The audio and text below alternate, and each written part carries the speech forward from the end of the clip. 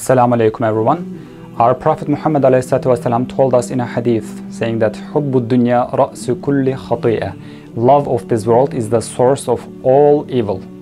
But as human beings in our nature, right, we love everything. We love this world. We love our family. We love delicious food. We love our cars, houses, you know, the nature. You know, we like it. It's in our nature.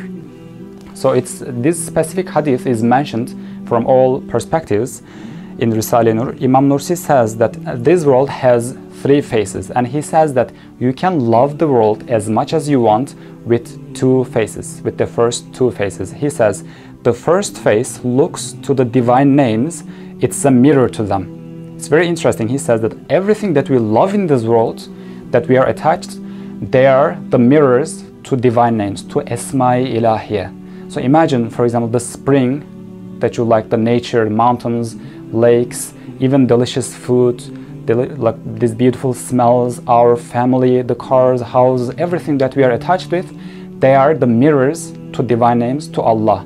Meaning the, you know, in mirrors, the mirror has no source, right?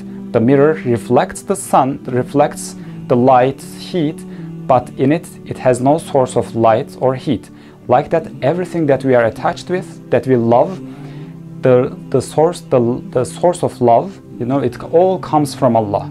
So the delicious food that we eat, that taste comes from Allah. The mountains that we see, they all come from Allah. The beauty, perfection that we are attached with, they are all coming from Allah. So from that perspective, we can love the world as much as you want. They are the mirrors to divine names to Allah. So this love will lead us to Allah. And the second phase, he says, looks to the hereafter and is its farming field.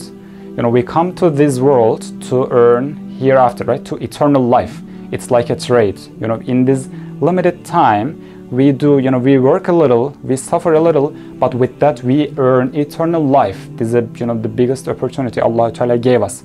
So from this perspective, many of the, even the prophets, ulama, did not want to die because they wanted to earn more rewards for the hereafter. So from this perspective, we should love this world and we should work for the hereafter. But the third phase is ugly. Imam Nursi says the third phase looks to the people who only care about this world and they do not see the world as an art of Allah and they do not care of the hereafter. It is the playground of the heedless. So from this perspective, this world is ugly because it deceives, right? It's it becomes an obstacle between Allah and us and the lifespan is so short. Even the things that you enjoy, you know, not thinking about Allah hereafter, lifespan is so short that, you know, the pleasures that we, we want to enjoy, lifespan of us and the things that we want to enjoy is so short. So from this perspective, this world is ugly and the hadith saying that, you know, the love of this world is the source of all evil looks to the third phase. May Allah, I ask Allah subhanahu wa ta'ala that He gives us love with the two faces and we work for the hereafter and we see everything that we love as a mirror to Allah so our love for Allah increases in everything that we see that we love. Assalamu alaikum wa rahmatullahi wa barakatuh.